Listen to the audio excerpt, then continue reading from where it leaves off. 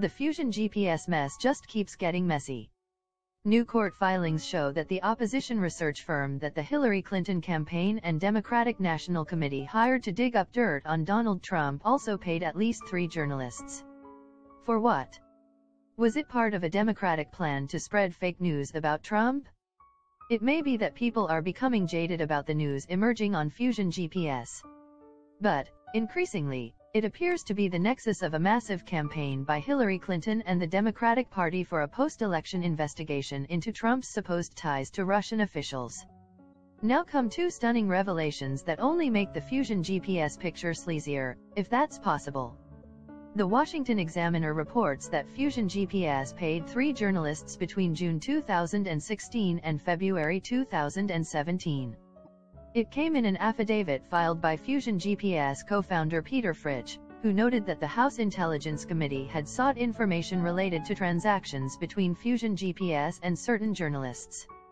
Fritsch asserted that the payments in question are not pertinent to work related to Russia or Donald Trump.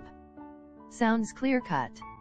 But the examiner's Todd Shepherd notes that one of the documents filed by lawyers for the House Intelligence Committee said each of the three reporters who received payments had written about the Russia probe, which could indicate that reporters were using Fusion GPS's work to write their stories. That would seriously undermine Fritsch's assertion. Moreover, in another filing, the lawyers maintained that Fusion GPS brokered meetings for Trump, dossier author Christopher Steele with at least five major media outlets in September 2016, including Yahoo News. Did Fusion GPS intentionally mislead Congress? It seems like a real possibility. Meanwhile, as has previously been reported, neither the FBI nor the Justice Department have been able to verify or corroborate the allegations of collusion between Russia and Trump that came from the Trump dossier.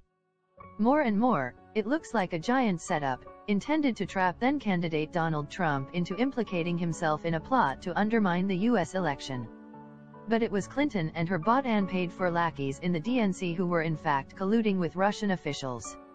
We promised a second revelation, so here it is. Daily Caller investigative reporter Chuck Ross reports that the U.S. law firm Baker Hostetler paid Fusion GPS $523,651 from March 2016 to October 2016 to investigate Bill Browder, a London-based banker who was behind the passage of the Magnitsky Act, a set of U.S. sanctions that the Russian government strongly opposed. And who paid Baker Hostetler to make that payment to Fusion GPS? Russian businessman Denis Katsyv, through his company, Prevezon Holdings. Indeed, it turns out that Fusion founding partner and former Wall Street Journal reporter Glenn Simpson compiled the information for Katsyv. This is yet another Russian link to Fusion GPS. The man whom Fusion paid to concoct the Trump dossier, former British spy Christopher Steele, interviewed a number of Russian officials for his Trump research, and was paid $168,000 for his work by Fusion. The picture emerges of Fusion, the Democrats, and the Russians colluding to eliminate a wildcard politician that could be trouble for all of them. Moreover, in a separate transaction, the Seattle-based law firm Perkins Coie paid out some $1,024, 408 between May 2016 and the end of that year, the records show. The biggest check was $365,275 made on October 28, 2016, just days before the election. And who was Perkins Coie? The attorneys for both the Clinton campaign and the DNC. Again, the point is, the fingerprints of Hillary Clinton, the Democratic Party and Russian officials are all over the infamous Trump dossier. But, as of yet, there has been no actionable evidence of actual ties between the Trump campaign and Russia. More and more, as we said, this looks like a classic setup a rather clumsy one, until you consider that Hillary Clinton and the Democrats were pretty sure she was going to win. All of this would have simply been swept under the rug by deep state bureaucrats in the Justice Department and at the FBI on behalf of President Hillary Clinton. Based on this, we'll reverse the logic that the left has employed against Trump now for well over a year, if it turns out that the Clinton campaign and DNC not only funded Fusion GPS but also directly or indirectly colluded with Russian officials to subvert an American presidential election, they will be liable for criminal charges and possibly jail time.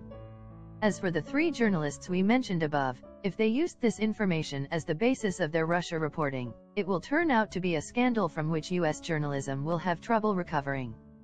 The media is already held in such low repute by the public that it's hard to think it can go lower. But it can.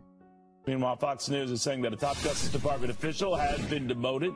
Uh, this seems to follow a familiar drill here, a probe of contacts with the founder of Fusion GPS, the firm behind that Trump dossier, to ACLJ Executive Director Jordan Sekulow. Jordan, what do you make of this?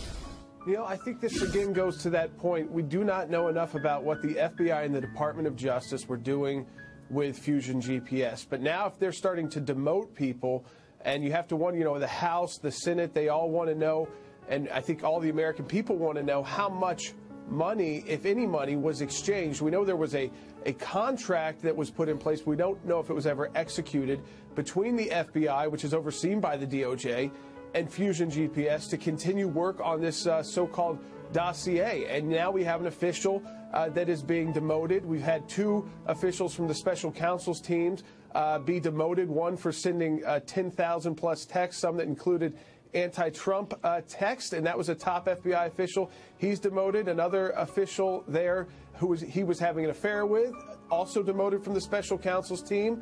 Uh, so it seems like, again, while you've got, I know uh, Director Wray uh, was testifying uh, today, but next week, uh, the acting attorney general for this Russia matter, Rod Rosenstein, has got to testify before Congress, and I, I, expect a lot of questions on this, Neil. Now, Rosenstein, of course, was the guy who appointed the special prosecutor, Bob right. Mueller, of course, who who fired uh, the one who was sending the nasty text about Trump, the separate issue.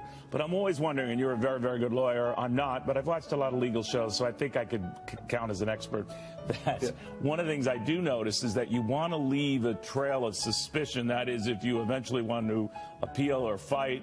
Uh, a decision that comes down that's not friendly to you, and that in the Trump administration, maybe the suspicion is that Bob Mueller has a bias, the FBI, the investigation itself is biased, and that they can point back to these uh, if it doesn't go their way. What do you think? Well, I think when you actually have officials that are being demoted by Mueller because they are they are sending they they are biased, uh, admittedly so. They didn't fight back against that. They were demoted. Two officials now from the special counsel's team have already been demoted. One is being reviewed, and he's a top official. Andrew but, Weissmann. But I guess uh, what I'm saying is, if Mueller did demote and/or fire some of these people, there might yeah. be others. Uh, does that prove that he he himself is trying to be very vigilant and fair about this, or or does it taint whatever is going on? I think the more and more people that get involved, Neil, and get demoted, the more it taints. Honestly, I think that you know after a while, if you start demoting all of your top people, so far these have been top people that have been demoted, then you're tainting your investigation. You're not helping your investigation out, especially when the American people and those who are fighting uh, back on this and trying to learn about this and funding it, like Congress, aren't learning about it until months later. I mean, that happened in August and we don't learn about it until December. That is absurd. I also think this idea that you know these retractions on the Deutsche Bank story that undermines the investigation of the special counsel when they allow a false report to hang out there for so long that they subpoenaed records for, for, for, on Donald Trump that they did not. That they is that official, by the way, that that never happened? The accusation was that Deutsche yes. Bank sometime back had been asked to hand over any records regarding Donald Trump or his associates, uh, so their finances, which is something that uh, the president indicated earlier would be a line crosser there. A red line, right? Right. Right, and now you've got the, the news agencies that reported that. Uh, it was uh, Wall Street Journal, Bloomberg who broke it initially. They've all retracted that story and said it's associates. The AFP actually said, Neil, which it makes more sense. It was likely the, the subpoena was likely for, uh, in relation to Paul Manafort, and we know his charges had nothing to do with the President of the United States. All right. Uh, yeah, it's not very clear what the position is on that. Uh, Jordan Sekulow. Politico reporting in a bombshell expose that the Obama administration placed the DEA's investigation into Hezbollah's drug trafficking and money laundering operations on hold, all to ensure that the Iranian nuclear deal remained on track. Joining us now, Republican Congressman Robert Pittenger, uh, who is urging the House to investigate that report in a letter he sent to the Oversight Committee Chairman Trey Gowdy. Congressman, thanks for joining us tonight. Uh, this is salacious stuff. It's scary uh, that uh, the lens that perhaps the previous administration went through to get this Iranian deal done? It is, sir. This is an egregious violation of the president's responsibility to protect this country. And uh, that's why I want a full investigation. You have senior officials from Treasury, from Department of Defense who have spoken out openly with their names, not anonymously, uh, conveying that they were impeded in the process of this investigation. So uh, we must uh, look at this. We may we must see get to the bottom of it and find out exactly what was done. Right. And you know the impact of this is extraordinary. Uh, Hezbollah is responsible for transporting a billion dollars uh, worth of arms and drugs uh, in exchange for cash. They are a major factor in our war against terror. Right. I just hosted a, a, meeting in Buenos Aires just 3 mm-hmm. weeks ago. Mariano Federici, my uh, partner down there, we had 220 members of parliament and government leaders from 15 countries addressing this very issue, uh, the nexus between uh, the drug cartels and the terrorist organizations. And just to bring the audience up to speed, this was a campaign dubbed Project Cassandra, launched in 2008 by the DEA after they amassed yes. a whole bunch of evidence that Hezbollah had actually transformed itself, Absolutely. not just from a military and political organization, but into an international drug crime syndicate cartel. Exactly. They were ready for prosecution, and they were impeded uh, through this in this process uh, by uh, individuals in the administration. Uh, different people have spoken out to this effect. So I, I, think it's critical that we get to the bottom of it. Even frankly, I do believe that the Attorney General needs to be fully engaged. I think the most shocking uh, line, one of the most shocking lines from this article, is that the Obama administration threw an increasing, increasingly insurmountable series of roadblocks in the way. Now, I think one of the questions will be was that perhaps, if this is true, to appease Iran or at, or at the request uh, and demands of Iran? You don't know.